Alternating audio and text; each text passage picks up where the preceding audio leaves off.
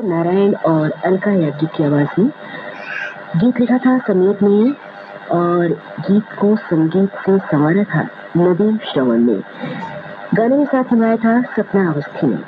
श्रोता अगला गीत हम आपको सुनवा रहे हैं, फिर भी दिल है हिंदुस्तानी फ़िल्म से। आवाज़ सोनू निगम और अलका याज्ञिक की है। गीत जावेद अख्तर का, संगीत जतिन ललित का।